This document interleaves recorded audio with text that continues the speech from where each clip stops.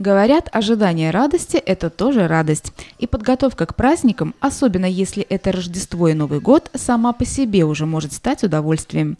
И, наверное, именно поэтому мы начинаем к ним готовиться задолго до их наступления. Ведь это замечательная возможность забыть о серых буднях и полностью раствориться в атмосфере зимнего волшебства. Приближаются самые долгожданные и любимые нами праздники – Рождество и Новый год.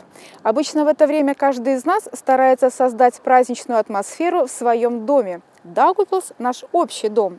А готов ли он к празднованию рождественских и новогодних праздников? Об этом мы решили спросить у даугавпилсчан. Да, конечно. Очень красиво. Детям очень нравится. Мне кажется, как всегда, в общем-то, да. Елка, по-моему, что в том году красивая, что в этом. Снега не хватает только пока для сказки. Ну что, ребята, как вам кажется, готов наш город к празднованию рождественских и новогодних праздников? Готов. Готов. Каток офигенный. Кататься нормально.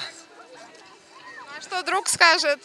Но Рига более такая красивая, тоже украшена. Там лед вообще офигенный, все так красиво. Ну, так мягенько, никаких кочек нет вообще, все нормально. В этом году вам не кажется, что наш город превратился в какую-то сказку? Ну, кажется, особенно как площадь украшена так. В этом году я считаю, что даже очень готов, потому что центр города очень красивый. Я вижу, что что-то новое приобрели. Вот. Возле дома мне нравятся вот эти шарики. А в домике гномов что вам больше всего нравится и вашему малышу? Понравились вот гномики, которые делают подарочки.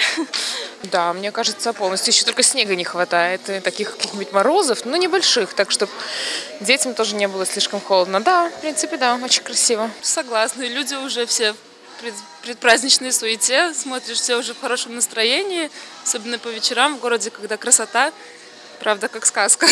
А на каток не собираетесь под открытым небом? Ну, я не знаю, не Просто может подрастет, да. может через пару лет.